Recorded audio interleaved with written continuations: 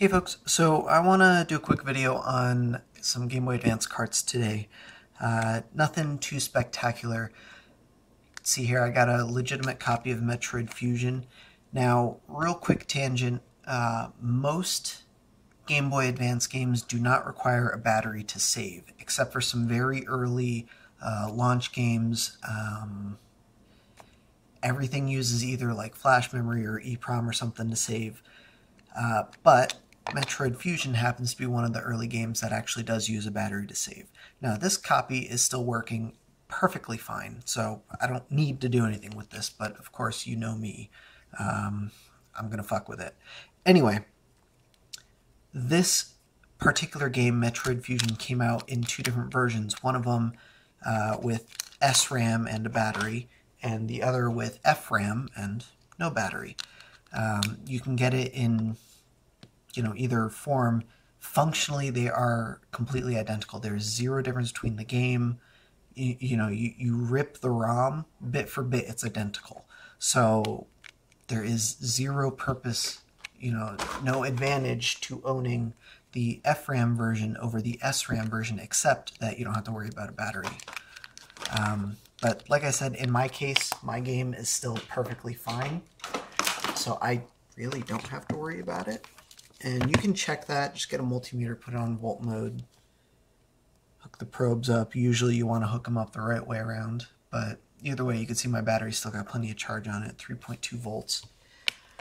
Thing's practically brand new as far as batteries are concerned, uh, but you know, you look at the date code, you can tell it's it's quite old. Um, if I actually cared about the save on this cart, I wouldn't be removing this right now but um,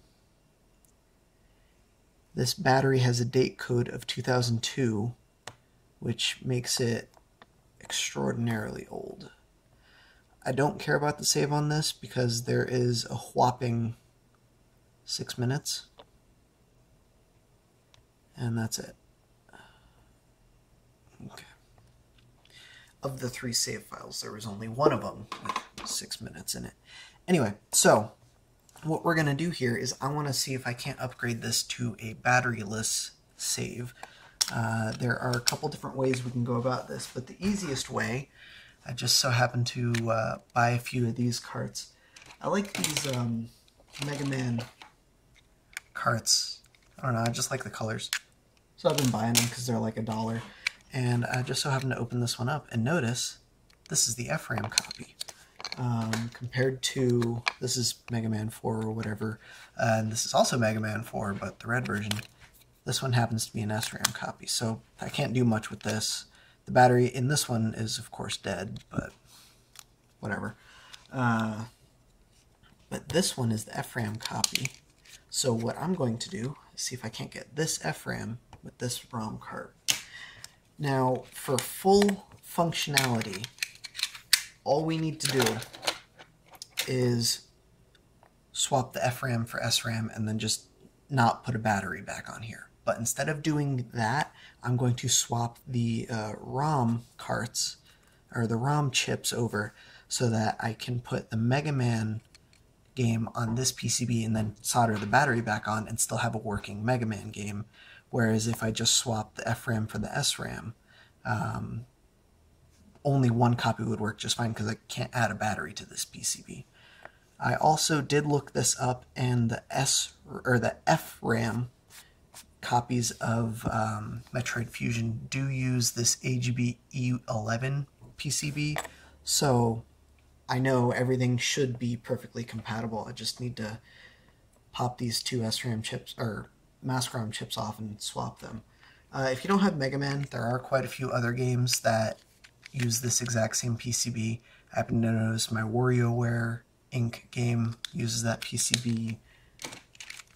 Kirby Nightmare in Dreamland also uses that PCB. Um, but not, oop, that's Metroid. Uh, but this Mega Man 5 game looks like it uses a different PCB. This might be compatible, but I'm not 100% sure because this is Y11, even though it still has an FRAM chip. If nothing else, you can still pull the FRAM chip. That should be fine. Um, stuff like Pokemon Mystery Dungeon, though, this uses a uh, flash save instead of FRAM, so you wouldn't be able to do anything with this. If you swapped the mask ROM from this board to this board, it would likely still boot just fine, but it would have no idea how to interface with that save chip. So it wouldn't work. Also, that save chip is like twice as big as it needs to be. Uh, I don't have any other games for reference, so let's go ahead and let's try this out, shall we? So to swap this, I'm you of course got to remove your battery because this will explode if you try and heat gun it. But I'm going to use my uh, overpowered hair dryer here, just a 1500 watt heat gun, and I've got the silicone pad and then this metal plate under it just to make sure I don't damage anything on my desk. Uh, but otherwise, I'm just going to run this and uh, we'll try it that way. But before I start it, my cat is trying to get on my desk. So I'm glad I didn't run that. I will pause for just a moment and make sure he doesn't get hurt. Okay, the cat has been evicted. We're good to go. I'm going to start with the um, Mega Man board here. I'm just going to use... Uh, we'll use high heat. Why not? Circle it around. Make sure I'm not leaving it in one spot. Sorry if the camera goes out of focus. Not a whole lot I can do about that.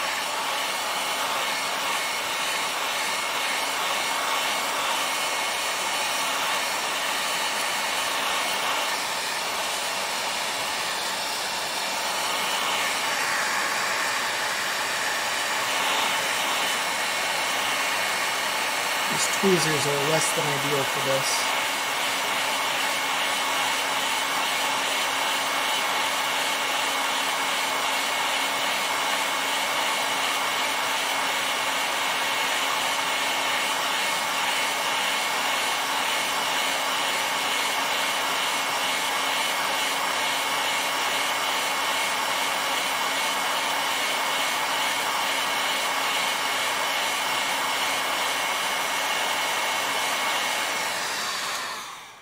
Okay, so that's the first one off.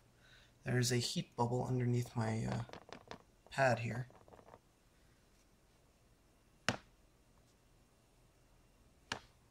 Which means it's probably getting too hot underneath there.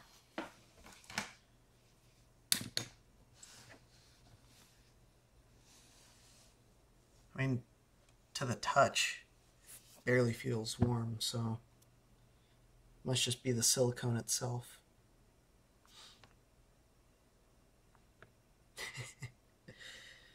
Alright, I guess I'll put something under there so the air can escape.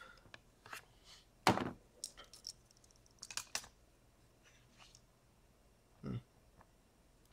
That doesn't help much. Okay, I'll set that aside.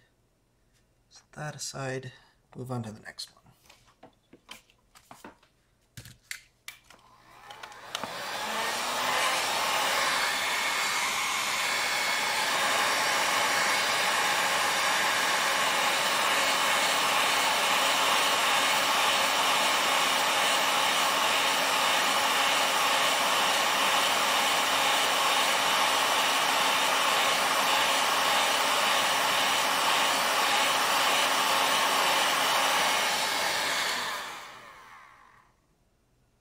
That one went a lot quicker because I was holding heat gun quite a bit closer. Okay, done with the heat gun.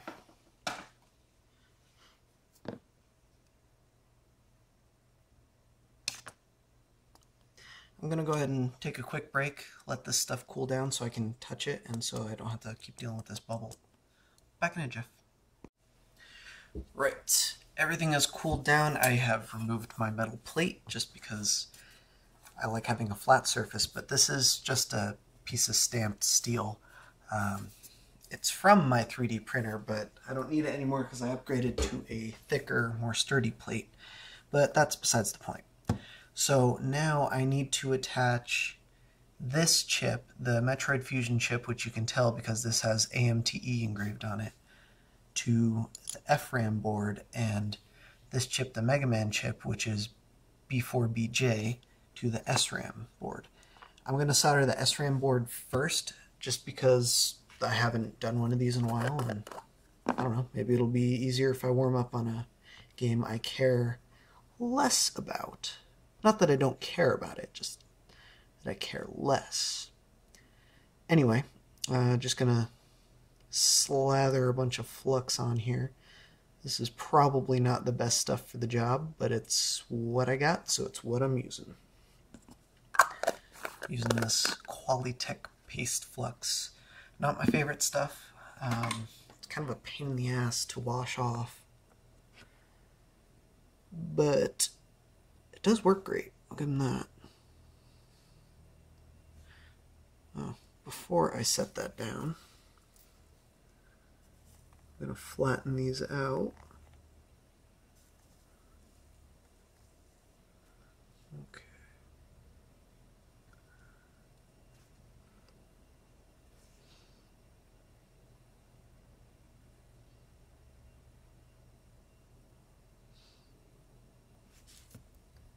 Why don't I zoom in a little?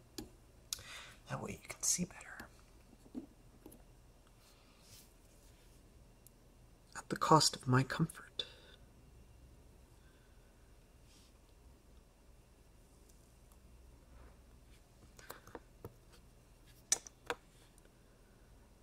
Oh man, I didn't even solder it down. Thought it did. Oh well. Soldered it that time.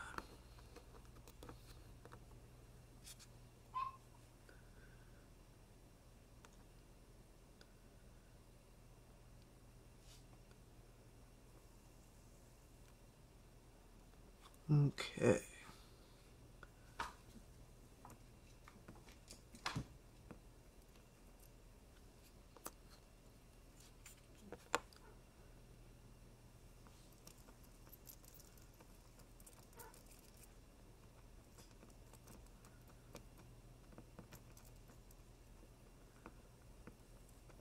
Smaller tip would help here.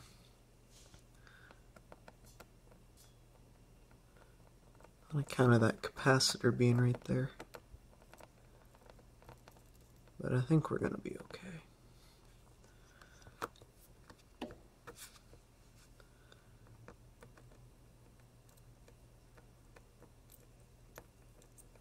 Same on this side.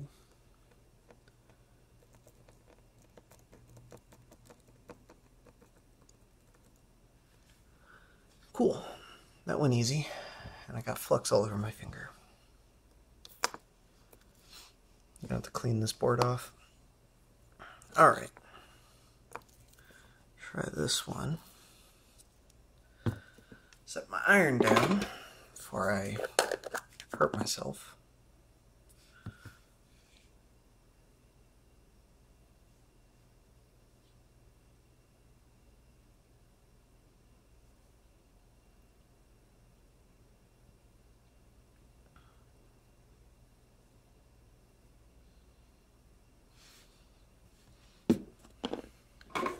Use more flux on that, but it's going to melt and spread around once I do this anyway.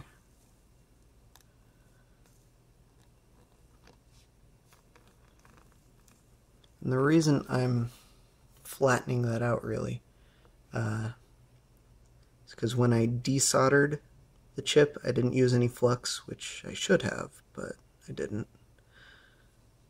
So it left some pretty sharp corners.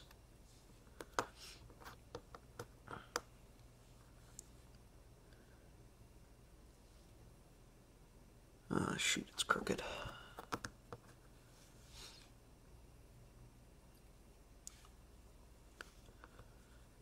Okay.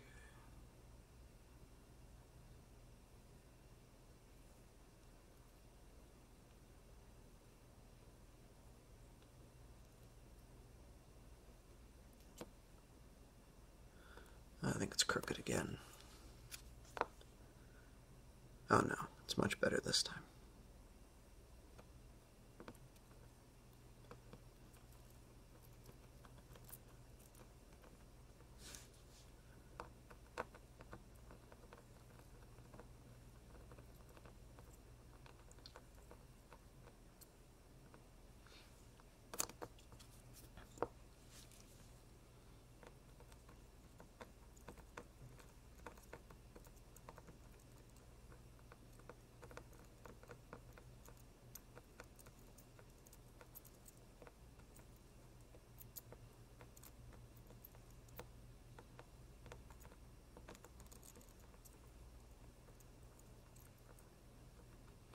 Okay.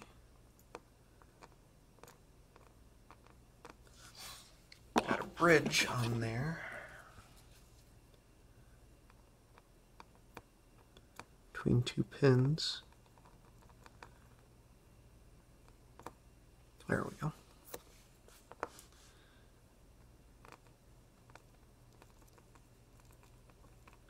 I just want to make double sure that everything is soldered. There's no bridges. And I think we're good to go.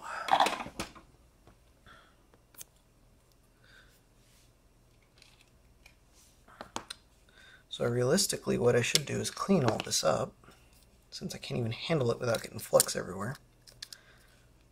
But before I do that, we're going to test it out. And I'm going to grab this Game Boy.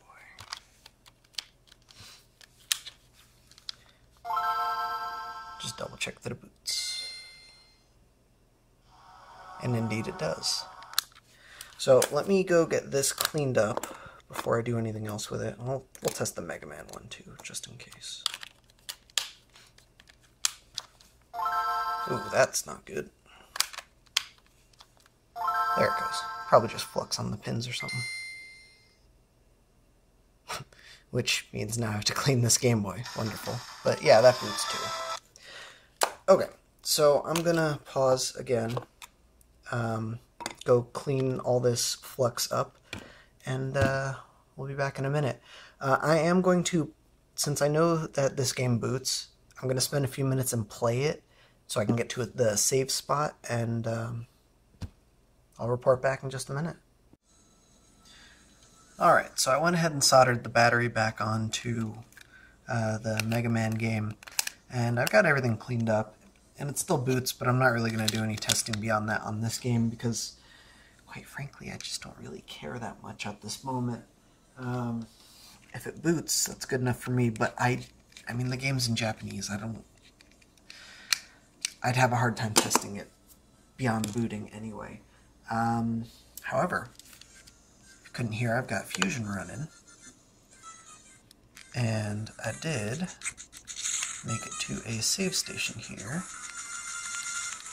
And you'll have to forgive me uh, skipping most of, well, pretty much everything, but this game does have a pretty long intro, and I figured I'd spare you guys the uh, embarrassment of me trying to play through Fusion, but as you can tell, there's no battery in there.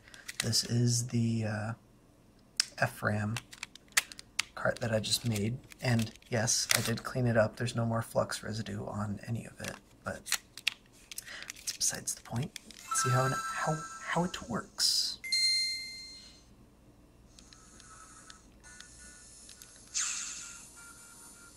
And there we go. There's my save start that.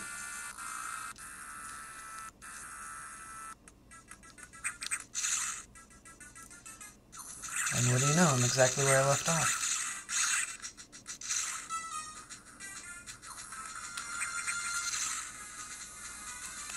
So there we go. Yeah, I guess I'll go ahead and play this now. My, uh, my new Fusion game. New. This is an old game that I've had for a very long time. I'm genuinely surprised that the battery was still in such good shape. But, uh, just gotta pop the screw back in. Bob's your. Thanks for watching, guys. No cats were harmed in the making of this video. Except maybe their pride. But that's okay. I made sure to give them some treats and some pets, too.